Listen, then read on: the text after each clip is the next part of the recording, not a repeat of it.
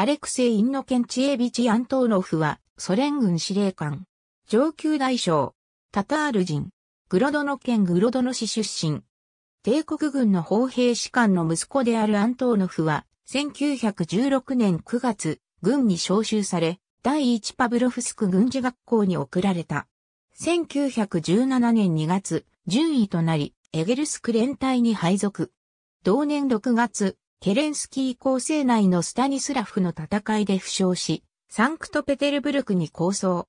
治療後、1917年8月、エゲルスク連隊長副官となり、1918年5月、予備役編入。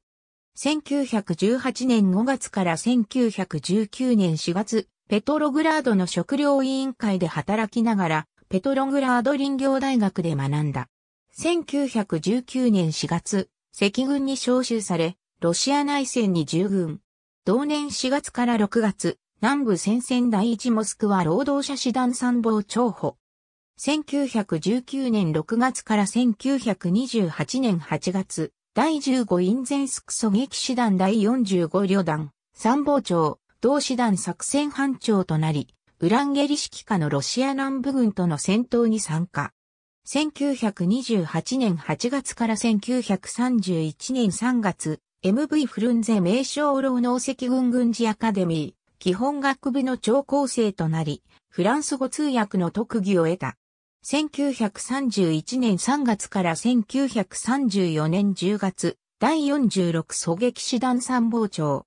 1932年11月から1933年5月、フルンゼ軍事アカデミー作戦学部の超高生。1934年10月、ウラル軍管区モギリョフヤンポリスク強化地区師団参謀長。1935年8月、ハリコフ軍管区参謀部作戦課長。1936年10月、労農赤軍参謀本部アカデミー超高生。1937年6月、モスクワ軍管区参謀長。1938年6月、彼はフルンゼ軍事アカデミーの専任教官、後に共通戦術講座副長となった。1941年3月、キエフ特別軍管区参謀次長。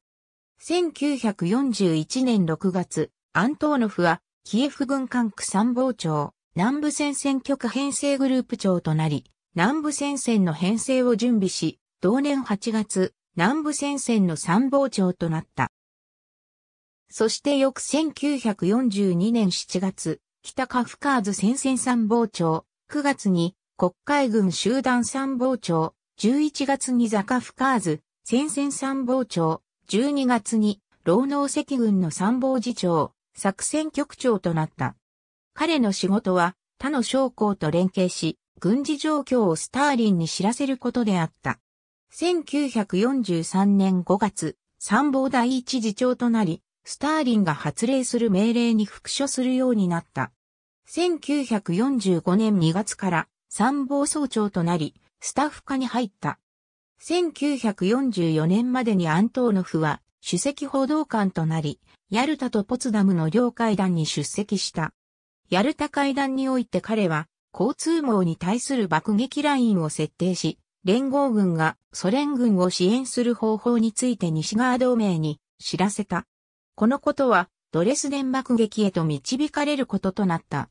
1945年6月、司令官職を経ず、参謀職のみのソ連の召喚クラスで唯一、勝利勲章を授与された。戦後アントーノフは、参謀第一次長、ザカフカーズ軍管区第一副司令官、ザカフカーズ軍管区司令官、参謀第一次長を歴任し、1955年5月、ワルシャワ条約機構統合軍参謀総長を兼任し、前世を極めた。彼はこの職を1962年に死去するまで続けた。同年5月、ワルシャワ条約機構政治協議委員会書記長にも選出された。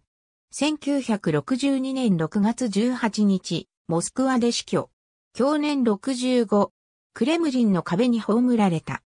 2003年、ロシアソ連邦英雄協会とソ連邦元帥召喚団はアントーノフにロシア連邦英雄の称号を授与するように陳情したが却下された。ロシア帝国から4等聖アンナ勲章、ソ連からレーニン勲章3個、勝利勲章、赤旗勲章4個、1等、スボーロフ勲章2個、1等、クトゥーゾフ勲章、1等祖国戦争勲章を受章。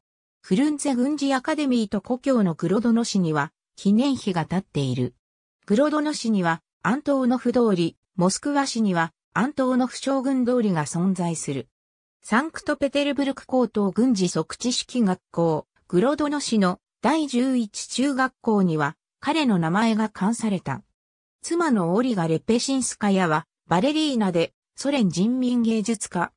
趣味は感激、読書、音楽鑑賞、チェス、写真、スキー、ボート、バレエ、散歩、観光など。ありがとうございます。